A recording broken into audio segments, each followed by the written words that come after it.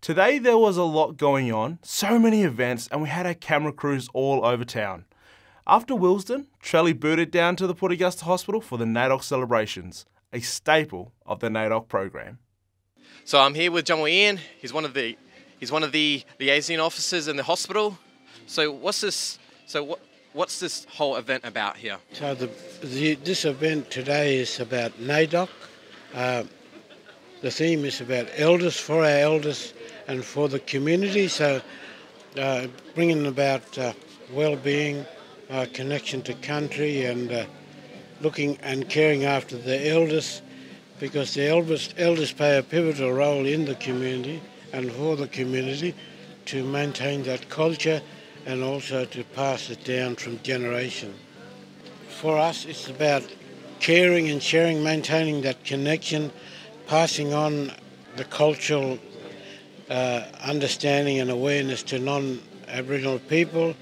It's about building the very fabrics of Aboriginal society to uh, promote it and to bring us together under one banner, looking after elders, caring for our elders, and maintaining that uh, connection.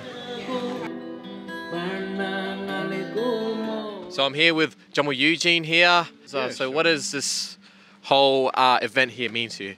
NAIDOC is an opportunity where the uh, non-Aboriginal people can come down and, and uh, look at the look at the history, hear about the history of of Aboriginal people right throughout the nation, who whose culture is the, the longest serving culture in in the world, continuous culture, and and to be part of, of language groups, it does mean a fair bit. So to have non-Aboriginal people here seeing this and witnessing it, and comprehending the stories, it, uh, it makes for a far better opportunity of understanding.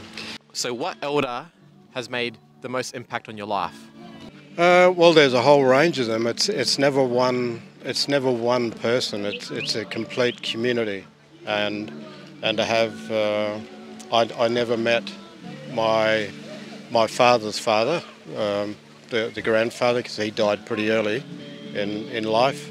Uh, but I've I, I knew and lived with uh, the two grandmothers and, and my grandfather, but also the uncles who also had roles in your life too. So so it's not just one person. It's it's an entire community that means everything to you because you are what you are because of them.